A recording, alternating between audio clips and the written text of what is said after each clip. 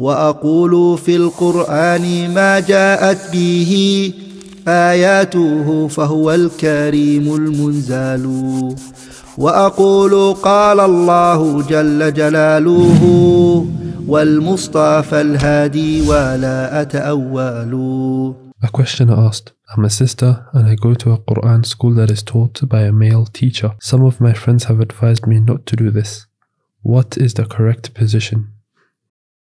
الحمد لله رب العالمين له الحمد الحسن والثناء الجميل واشهد ان لا اله الا الله وحده لا شريك له يقول الحق وهو يهدي السبيل واشهد ان محمدا عبده ورسوله صلى الله عليه وعلى اله واصحابه والتابعين لهم باحسان إلى يوم الدين اما بعد. In response to your question, it is necessary that the men and the women are not sitting together. The women should be separated from the men, or they should sit, or they should sit uh, at the back of the class, and the men sit at the front. Um, the women, it's permissible for them to study the Quran and the tafsir of the Quran, and even the recitation of the Quran from a male teacher.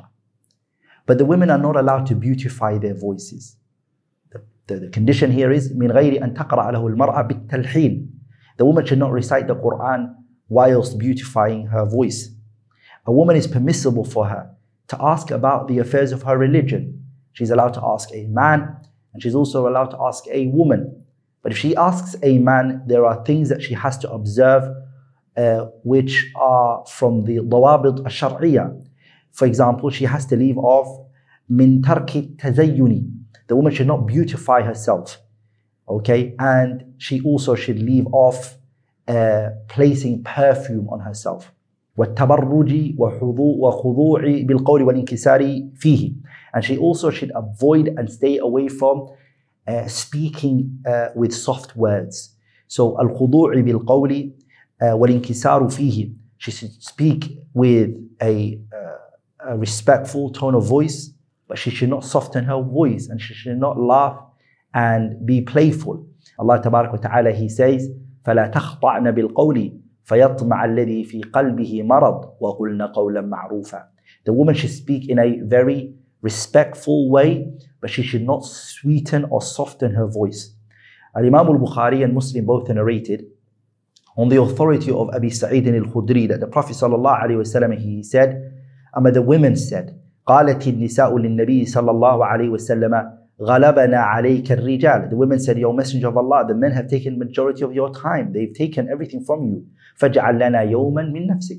Place a certain day for us. فوعدهن يوما لقيهن فيه. The Prophet صلى الله عليه وسلم, he placed a day for them. لقيهن, he met them in that day. فوعظهن وأمرهن.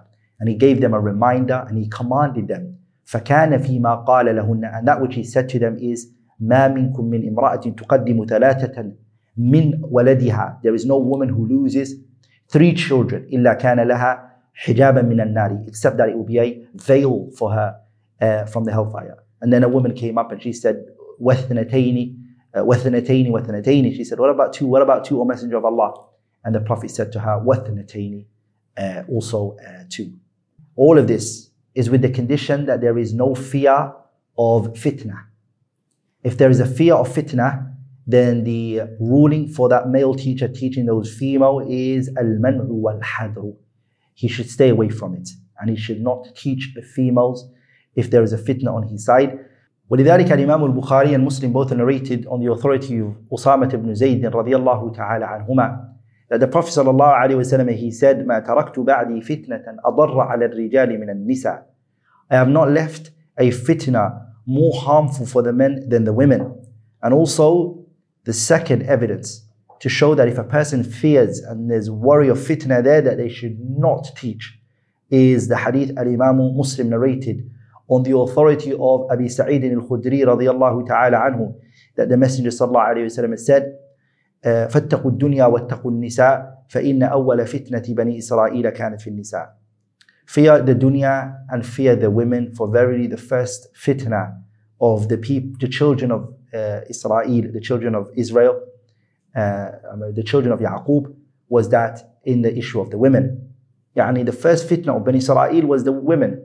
So stay away from the dunya and be cautious of the dunya and the women.